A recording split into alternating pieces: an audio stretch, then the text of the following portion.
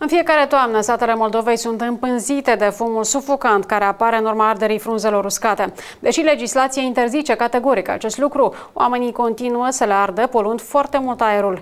Nu și locuitorii Cămânei Cărpineni din Hâncești, care de câțiva ani s-au responsabilizat și depozitează frunzele, dar și alte resturi vegetale la compostare pentru iarnă.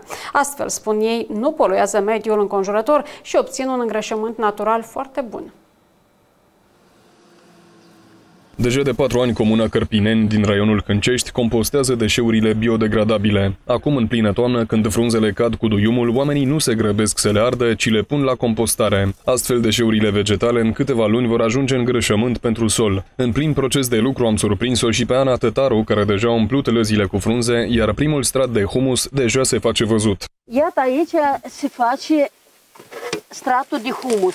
Cum anul ăsta a fost cum uh, nu a fost așa udeală multă, toată iarna se putrezește și în primăvară noi ale, alegem tot și pământ bun de e pământ negru s-a putrezit, îl punem în grădină, la flori, la, la chipieri, la patlajele. Frunzele arse eliberează în atmosferă substanțe cancerigene puternice, cum ar fi benzopirenul. Femeia spune că niciodată nu a dat foc frunzelor din grădină pentru că știe că ar polua grav mediul. Dacă ar să dă toată lumea foc, la frunzele astea și să se petrece cum un dezastru în lume. Deșeurile biodegradabile se compostează și la liceul Ștefan Holban din Cărpineni. Aici elevii la orele de ecologie învață despre pericolul frunzelor arse, dar și participă în mod colectiv la salubrizarea teritoriului. Este interzis de alți ars frunzele pentru că ele sunt, sunt toxice pentru plante și animale și chiar pentru mediul înconjurător și distrug stratul, stratul de ozon care nu permite pătrunderea razelor ultraviolete. Oamenii ar putea mai simplu să depoziteze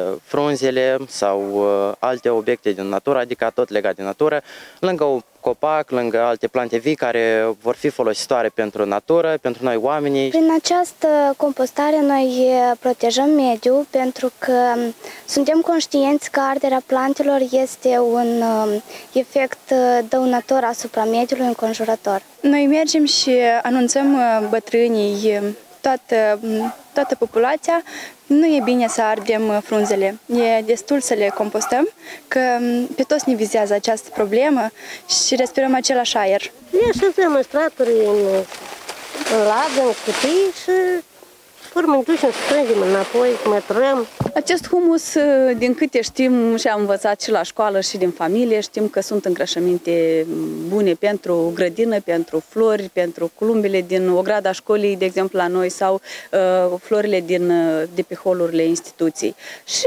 astfel uh, avem un produs bio Uh, curat, ecologic, fără îngrășăminte chimicale. Cum să compostezi corect frunzele și alte deșeuri biodegradabile, Comuna Cărpinene a început în 2016, când administrația locală a realizat o campanie de informare masivă în acest sens. Astfel, peste 250 de gospodării au primit lez pentru compostare. Noi am avut vreo 3-4 valuri de, de, de informare a cetățenilor, deci prima campanie a avut loc în instituțiile publice, după care am avut ședință în fiecare mahalau, unde am expus toate efectele nocive ale arderii resturilor vegetale. Evident că unii au fost mai receptivi, alții s-au lăsat așteptate rezultatele pentru alții, dar um, lucrurile avansează. Deci exemple bune se mă lipsesc. În prezent um, s-a diminuat numărul gospodăriilor care uh, incendiază resturile de vegetație, dar acest flagel încă nu a fost iradiat 100%. Deci mai avem unele cazuri, dar nu Uh, incidența nu este atât de mare ca, ca în trecut. Menționăm că arderea frunzelor și a deșeurilor menajere se pedepsește conform legii. Persoanele fizice riscă să fie sancționate cu amendă de până la 1200 de lei, iar cele juridice riscă o amendă de până la 9000 de lei.